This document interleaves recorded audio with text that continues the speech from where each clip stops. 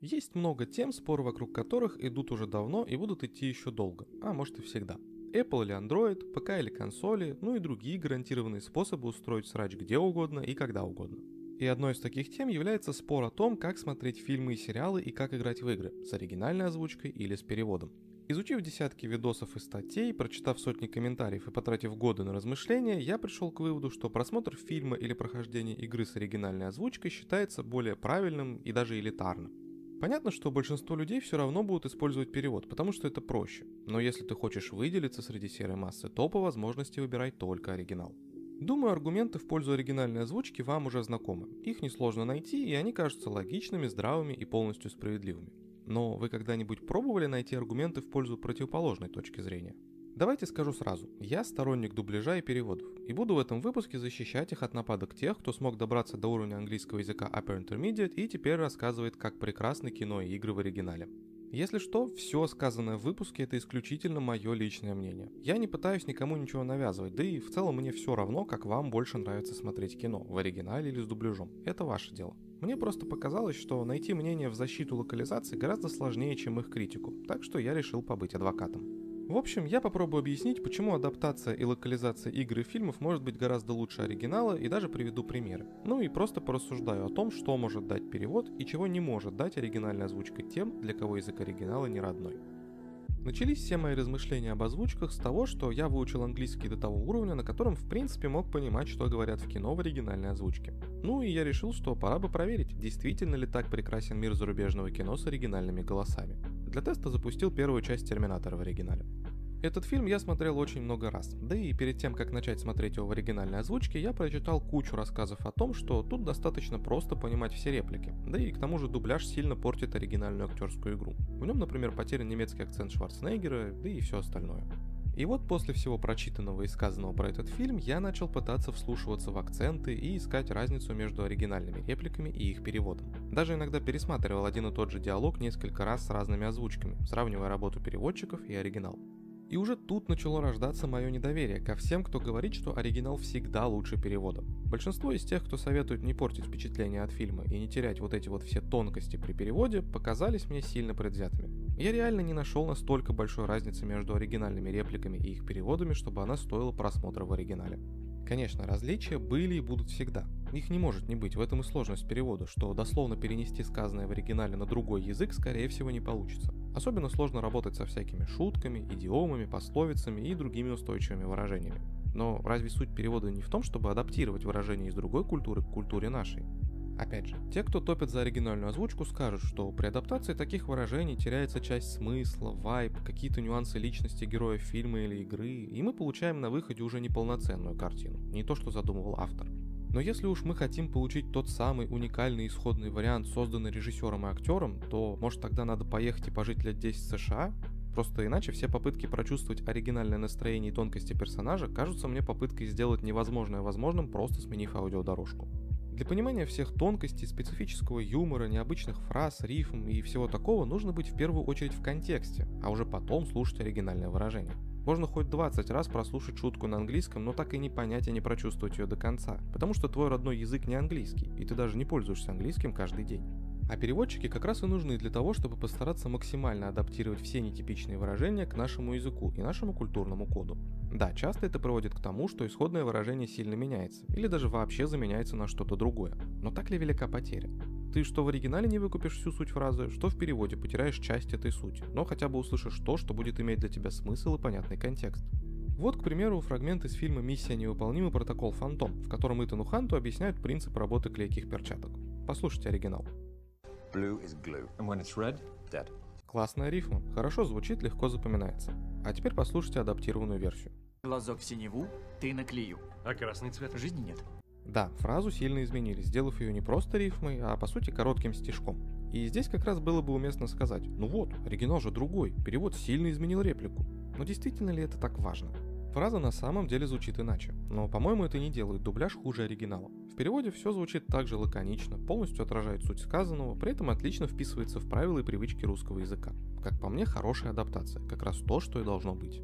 К тому же, даже если ты отлично понимаешь язык оригинала на слух, все равно, не будучи его носителем и не используя его в повседневной жизни, ты будешь отвлекаться на перевод при просмотре или игре. То есть вместо того, чтобы максимально вникать в сюжет, игру актеров и все остальное, из чего состоит фильм или игра, ты так или иначе будешь отвлекаться на перевод реплик в голове, особенно если реплики нестандартные.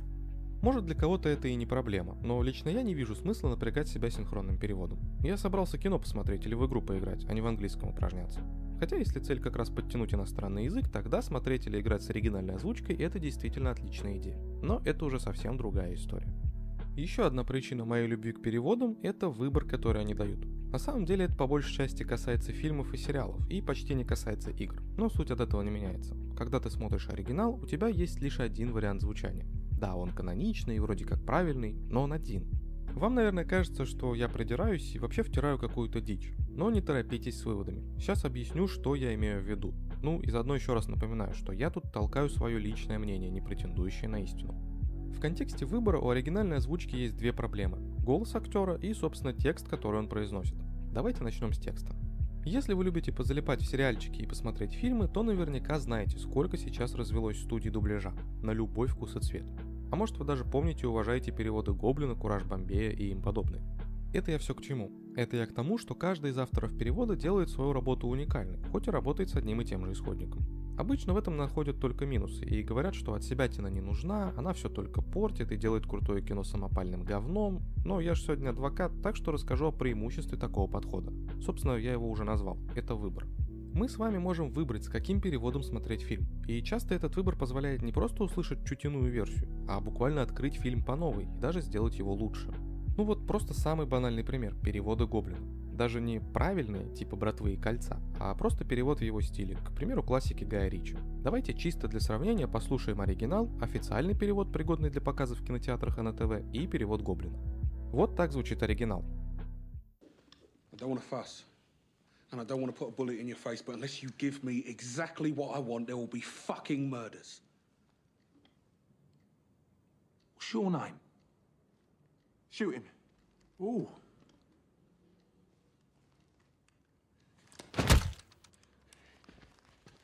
Let go of the gun.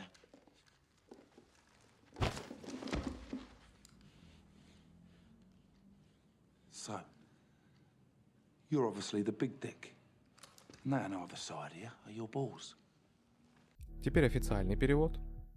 Я не хочу всаживать пулю тебе в лицо, но если ты не дашь мне то, чего я хочу, то здесь произойдет убийство. Как тебя зовут? Пристрели его.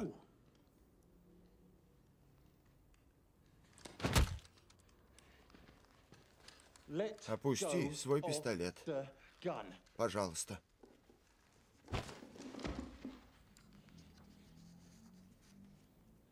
Видимо, ты большой член. А это по бокам твои яйца. И, наконец, перевод Гоблина. Я не хочу лишнего шума. И поэтому не буду пускать тебе пулю в башку. Но если ты сейчас же не отдашь то, что мне надо, здесь произойдет охуенное убийство. Как тебя зовут? Пристрели его.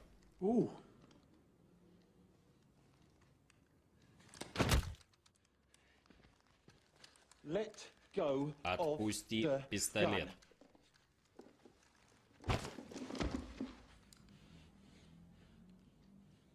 Так значит, ты местный хуй. А эти по бокам твои яйца. Надеюсь, никто не будет спорить, что звучит и воспринимается это совершенно по-разному. И не забываем главное, у нас есть выбор. Надоело, что все матерные слова и выражения переводят как «черт возьми» и «вот дерьмо»? Окей, подрубаем гоблина. Не нравятся переводы гоблина? Есть и другие варианты. А сейчас ситуация с выбором стала гораздо лучше. Да, мы вроде как лишены официального дубляжа, и это, конечно, печально. Но зато у нас столько студий и команд, которые занимаются переводами и озвучкой, что выбор огромен. Хочешь, можешь выбрать условно официальный перевод и озвучку с теми самыми голосами. Хочешь, какой-нибудь кубик в кубе переведет и озвучит в своей манере. А можешь вообще поискать вариант от начинающих талантов, если есть время и желание. А теперь вторая часть выбора, которую имеем мы и которые лишают себя любители оригинальных аудиодорожек. Выбор голоса. Да, это может звучать странно, но далеко не всегда настоящие голоса актеров звучат хорошо. И дело может быть даже не в том, что актеры плохие или с голосом что-то не так. Частенько в оригинальной дорожке разобрать речь актера реально трудно. Например, персонаж шепелявый, или он шепчет, или еще что-то подобное происходит. Тут даже зная язык на отличном уровне, может быть тупо сложно расслышать и понять этот ASMR-контент. Да, конечно, если персонаж шепелявый, значит это важно для его образа. Если он шепчет, то это важно для сцены, и так задумал режиссер, а озвучка все испортит. Но мне-то что делать, если я тупо не понимаю, что там шепчут в кадре? Разве восприятие фильма будет лучше, если я просто не услышу или не разберу реплику, чем если я услышу ее перевод, пусть и не совсем таким же голосом и тоном, как сыграл актер в оригинале? Да и в целом между голосом и внешностью иногда бывает забавное несовпадение. Не всегда оно прям сильно заметно, особенно если не сравнивать. Но вот если сравнить голос в оригинале и голос в дубляже, то часто оказывается, что голос актера дубляжа даже лучше подходит персонажу. Может при озвучке наш актер как-то особо хорошо прочувствовал своего персонажа. А может просто на каком-то подсознательном уровне кажется, что его голос лучше подходит. Я не знаю, но такое реально часто встречается. Ну и опять же, я ж тут про выбор разгоняю, а выбора-то сейчас очень много. Как я уже говорил, есть и крупные студии, и мелкие команды, а в последнее время к нам в страну стали попадать фильмы, дублированные казахстанскими актерами, которых мы раньше вообще никогда не слышали, а они очень даже хорошо делают свою работу. Короче, при желании можно найти именно такой набор голосов, который будет идеально подходить под ваше представление о том, как должен звучать тот или иной герой.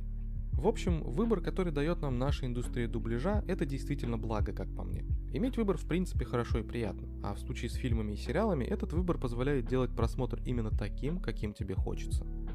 А вообще одной из главных претензий к дубляжу обычно является актерская игра.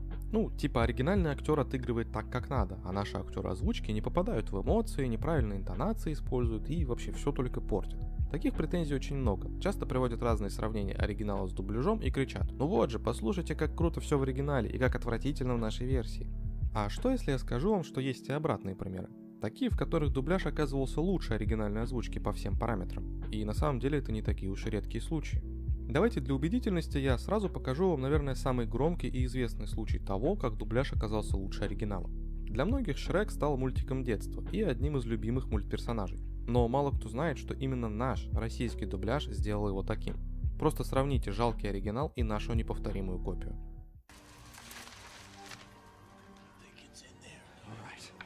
Let's get it! Hold, hold on! Do you know what that thing could do to you? Yeah, grind your bones for its bread. yes. Well, actually, that would be a giant. Now, ogres, oh, they're much worse. They'll make a suit from your freshly peeled skin. No! They'll shave your liver, squeeze oh, no. the jelly from your eyes. Actually, it's quite good on toast. Back! Back, please! Back! I warn you!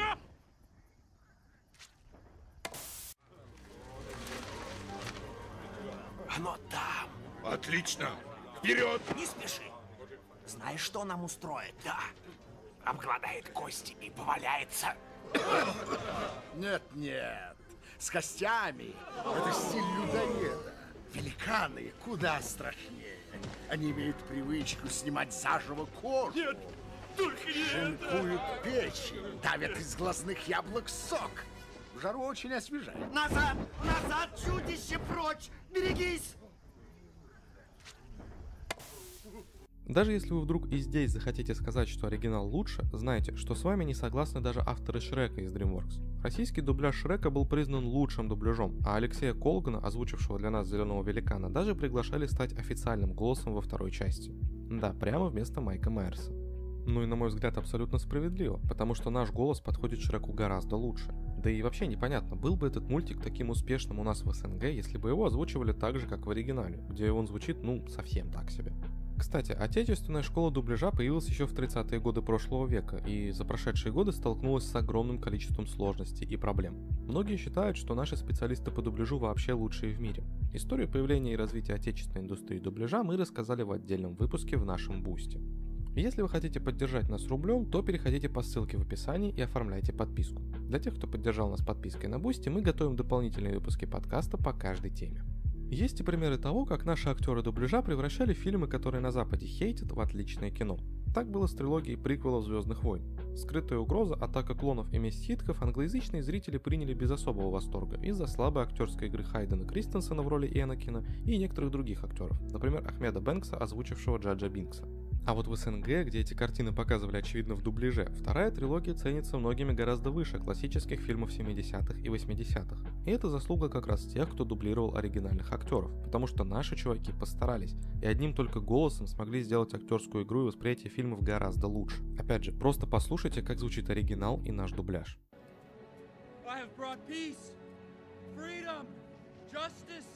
and security to my new empire. Your new empire? Don't make me kill you. Anakin, my allegiance is to the Republic, to democracy! If you're not with me, then you're my enemy. Я принес мир, свободу, справедливость и безопасность моей новой империи. Твоей империи? Не вынуждай меня убивать тебя! Энакин, я поклялся в верности республике и демократии! Если ты не со мной, значит ты мой враг. И такое случается не только с фильмами, но и с играми. Все же помнят легендарную озвучку третьего Варкрафта, которая опять-таки стала одной из главных причин, почему эту игру так любят у нас. В оригинале персонажи Варкрафта звучат совсем не так эпично, круто и местами смешно, как в российском дубляже. Когда слушаешь реплики кого угодно, от Кристианина до Артаса, понимаешь, насколько круто актеры выложились и как душевно они озвучивали все реплики. Быть принцем не так уж легко. It isn't easy being the prince. И я прославлю свое королевство. I will bring honor to my father and my kingdom. Свет указывает мне путь. Light, guide my path. Свет придает мне силы. Light, give me strength. Я ведь сам должен командовать. I should be in command. Я знаю, что делаю. I know what I'm doing. Не нужно кланяться. There's no need to bow. Наверное, это звучало чуток сумбурно, но главное, что я хотел показать, дубляж не всегда хуже оригинала в плане актерской игры, атмосферности и душевности. Можно найти сколько угодно примеров плохого дубляжа, но на каждой из них найдется пример, когда дубляж оказался настоящим спасением для посредственной актерской игры из оригинала. Ладно, пора заканчивать свои разгоны. На самом деле все эти споры о том, как лучше смотреть, оригинал, дубляж или с субтитрами, это всегда чисто вкусовщина. Фанаты каждого из этих вариантов смогут привести кучу аргументов, почему именно их способ просмотра лучший, но по сути они просто будут пытаться навязать свои вкусы. По факту главное это получать удовольствие от того, что смотришь и во что играешь. Кому-то больше понравится оригинальная озвучка, а кто-то выберет перевод на свой язык. Оба варианта нормальны, если приводят к получению удовольствия от контента. Единственное, что я хотел донести в этом выпуске, это мысль о том, что дубляж и русская озвучка не являются однозначным минусом. Их принято считать тем элементом, который все портит и делает произведение хуже, но на деле это далеко не всегда так, а иногда и вообще наоборот. Просто о случаях, когда оригинал оказывается явно лучше локализованной версии фильма или игры, знают и говорят очень многие, а вот об обратных случаях как-то умалчивают. В общем, надеюсь, я не сильно задушнил, пока разгонял тут свои мысли. Пишите в комментариях, согласны ли с аргументами, которые я привел в защиту переводов и дубляжей, или считаете, что оригинал превзойти нельзя. Рассказывайте, с какой аудиодорожкой обычно смотрите кинчики и сериалы, и делитесь любимыми голосами актеров озвучки, если такие у вас есть. Спасибо за просмотр. Не забудьте поделиться этим видео с друзьями, если оно вам понравилось, поставить лайк и подписаться на канал.